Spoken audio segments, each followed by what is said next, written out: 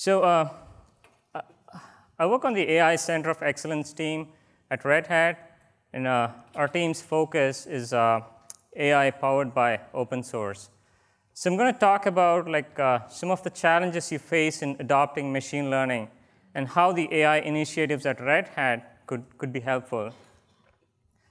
So um, when we think about machine learning, whether it's to find solution for a specific uh, use case or you want to integrate the machine learning techniques into your existing environment or process, there are several challenges involved.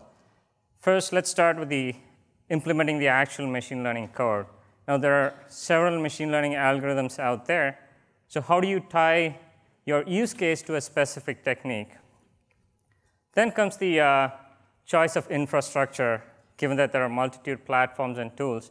Which one do you choose? Now, even if you make a choice, so how do you bring it up and how do you manage them? So now all of these need to come with a certain level of accessibility that's ease of use for users with varying levels of machine learning expertise. So with an aim to address these dimensions, we present AI Library, an open source machine learning framework so that allows rapid prototyping of ideas without the need to iterate on algorithmic approaches or worrying about infrastructure issues. Oh, so what is in this AI library? So you'll find like statistical techniques, machine learning algorithms, and machine learning solutions to common use cases. Now, you might ask, OK, you have like these predefined, predefined solutions, but what if I want to build custom solutions? Well, I want to take a moment and uh, mention about Open Data Hub as well. So AI Library is actually part of a much bigger project called Open Data Hub. So that's like a machine learning as a service platform. So that wraps around AI library and provides the set of services that lets you do data processing, deploy machine learning models, or kind of like do the end-to-end uh, workflow management. And this, and all of this is open source, so it's free. Free is good. So what is there in this uh, AI library? Let's look at the, some of the AI components that's in AI library at the moment. So uh, we have association rule learning. So that's a rule-based machine learning method that identifies um, relations between sets of features in your data set. In our environment, we use it to measure developer as well as uh, a team's productivity. For example, you can associate a developer and the bug or the defect priority to the timeline responses. Then uh, next comes correlation analysis. So that's a pretty well-known statistical technique. So that quantifies the linear association between features, and it gives you the strength and direction. The next two, I'll be going in much more detail, but uh, duplicate bug detection is about uh, detecting whether a newly reported problem or to be reported problem kind of already exists in your defect tracking system or not. And uh, flake analysis is about uh, detecting false positives in your test failures. So those tests that actually fail but shouldn't really have. Then uh, we have matrix factorization. So matrix factorization is, is popular and used in uh, uh, recommendation system. So you might recognize this algorithm from the famous Netflix Prize challenge. So in, in, in case of Netflix, it was used to uh, kind of recommend movies based on user ratings. But how do we uh, take it to a software engineering environment? Of course, it, they don't let me watch Netflix in the office. But uh, you could uh, use it to recommend like packages or software dependencies uh, based on your software ecosystem that you use. Finally, we have uh, sentiment analysis. So that's used to express opinions on natural language text, typically categorizing it into positive, negative, or neutral sentiments. Now, these are not the only algorithms out. There are like a lot of others in the oven, like from uh, principal component analysis to Bayesian networks. So these, these will be published pretty soon. Now, the AI library also comes with supporting libraries, libraries that lets you handle infrastructure and data related uh, issues. So before we take a look at that, uh, I'll go the workflow that lets you understand why we have these uh, libraries in, uh, out there. So um, what you see here is a simple three-step process of any machine learning experimentation. You save the data, you run the model, and you get the results. So of course, like with running the model, you do the training, you do the prediction, but I'm kind of uh, simplified it here. So what support do we provide for uh, the data? So we have uh, um, libraries that are that support S3 compatible uh, object storage. So you could use like Ceph or AWS or MinIO or anything that's S3 compatible. Uh, next, as for uh, running the, mod, uh, the machine learning models itself, these are Python modules, so you can just execute them as standalone modules, or you could actually integrate them or like run them on top of a container application platform like OpenShift or OKD or Minishift. So uh, you see OpenWhisk there. So the uh, whole part of uh, having this on a container application platform is to expose the front end uh, through simple REST APIs. So all a, all a user needs to do is submit a simple request that points to your training data, and you get back the results. And as far as using the results, like it kind of varies uh, from model to model. Sometimes you get uh, a probability score, or sometimes you get a set of uh, box plots or graphs. So it's up to the user to integrate it into your existing process, or you can just view the graph. So what you see here is the structure that you would uh, quickly recognize when you go to the, uh, the GitLab repo that we have out there. So we have uh, the storage modules that takes care of uh, S3 compatible backends. Then actions um, simply point to the, uh, the OpenWhisk and container application platform related tasks that lets you spin up jobs or create containers and kind of uh, do the machine learning magic in the backstage. And all of these, so how do you deploy all of these and kind of manage it? So we have the uh, Ansible automation that kind of takes care of the whole thing, like bringing it up for you and kind of managing it. So let's, uh, uh, I want to point out on uh, the saving data part. So we do have libraries to upload, download, or play with the data, but there are other things that could be integrated into with this uh, framework. For example, the Rados object storage utility or the Amazon Web Services command line interface, or even like if you have like streaming data, you could use a Kafka, and which is already a part of the Open Data Hub project.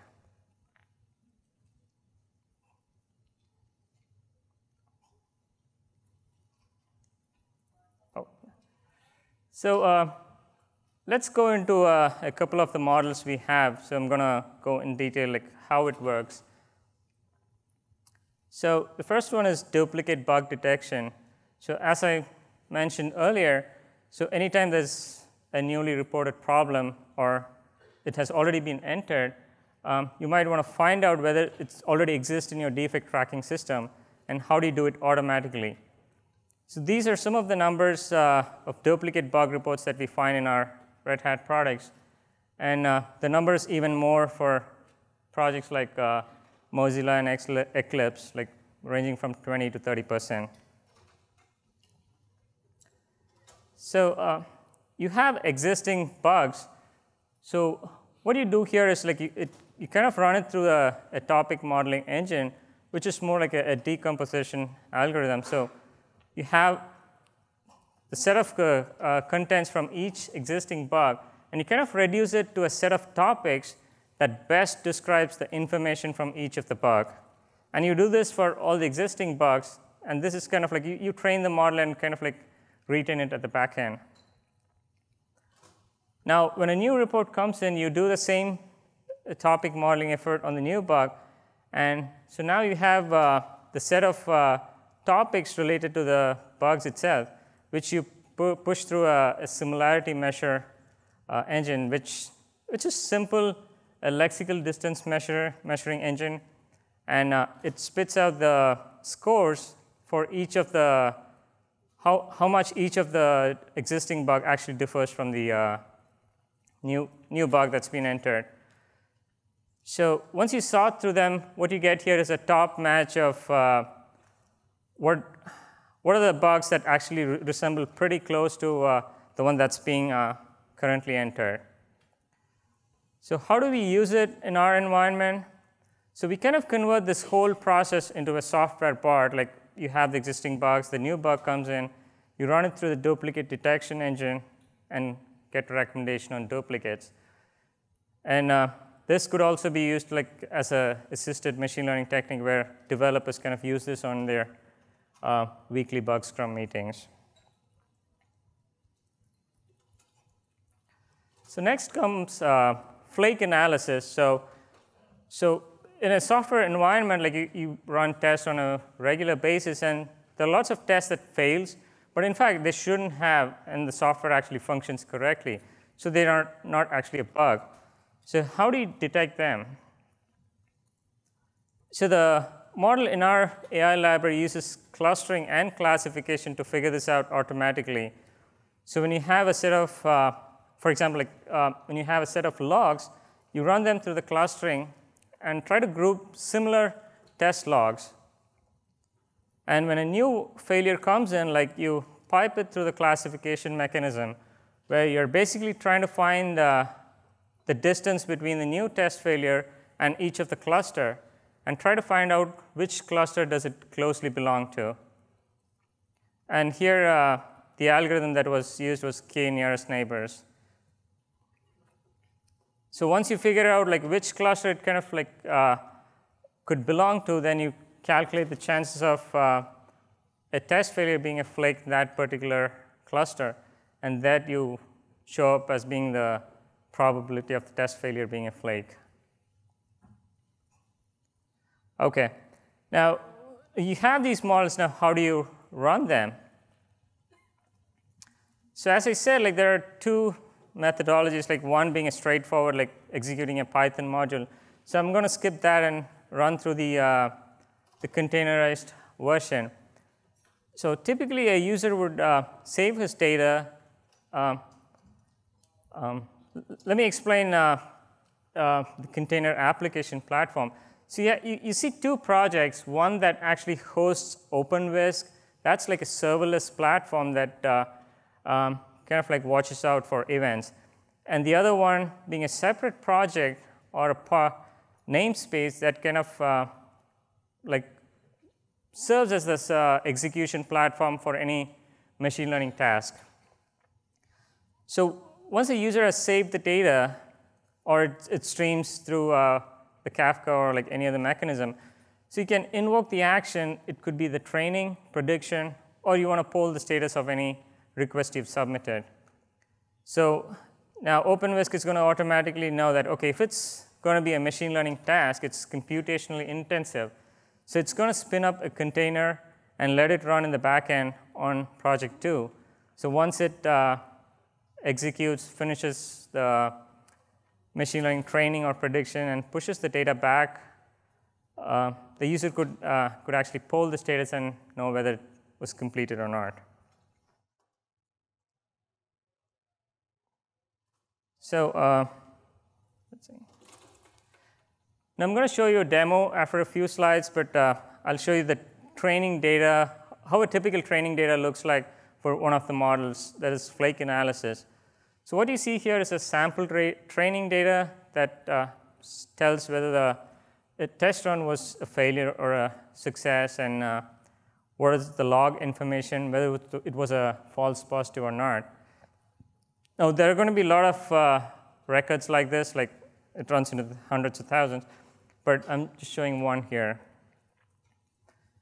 So what does a user send into our system? So it's a simple curl request that actually points to the, uh, the flake analysis training endpoint.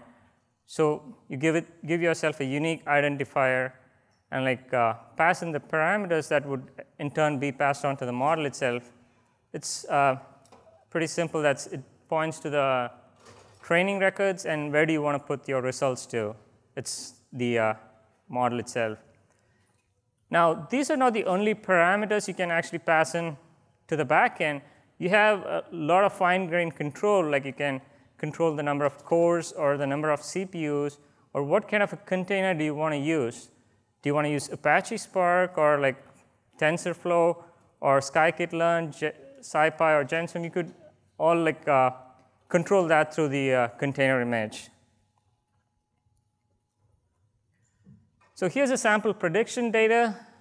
It's uh, simple and it has uh, logs from your recent failure.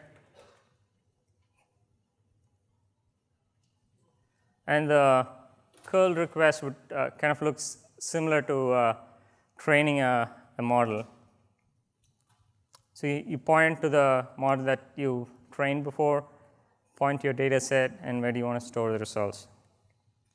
So for a single record, this is how the results would look like. For example, here it says, okay, there's an 89 chance, 89% chance that uh, this is a flake. So now you could automatically fix a threshold to it and say like, okay, do you want to um, ignore it or do you want to file a bug, uh, etc.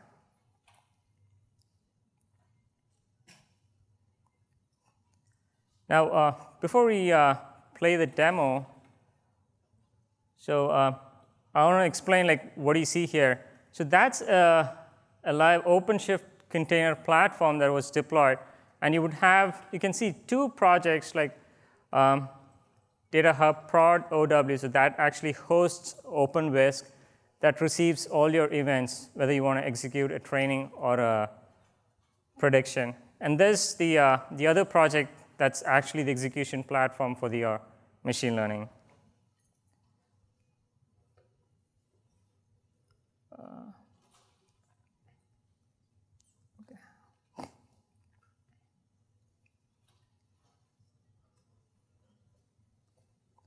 Could you pause it for a second?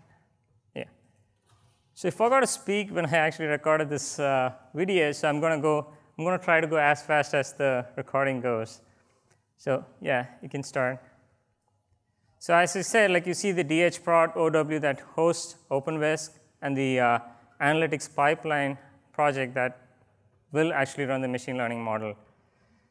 Now let's see uh, how the user issues a curl request. Once that is done, you can see that OpenWhisk receives the event and kind of like tries to detect, okay, is it training or prediction? And then it kind of like spins up uh, the jobs in a different project. So what you see here first is a flake analysis dash one dash build.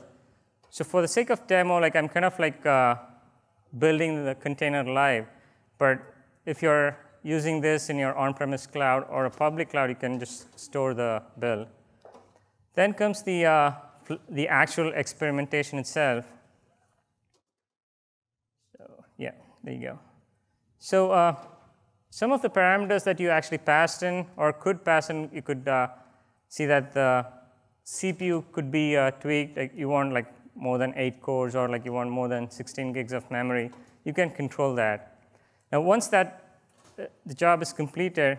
So this is a pretty small data set, so it completes pretty quickly. You can see that the, the data was loaded, the training was complete, it formed the clusters, then did the classification, and found that, okay, the model was created, and it kind of pushed the results back to uh,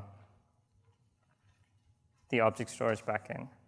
So that actually concludes my talk. So we saw some of the challenges we face in adopting machine learning and how we could use uh, the open source frameworks and platforms from Red Hat and kind of uh, experiment with machine learning. And I also call out to the community to build a community around these open source frameworks and platforms so that we have better odds against Skynet. So these are the links to the resources like the AI library and Open Data Hub. So all the models that I've explained, like you will find it documented in these links. Thank you.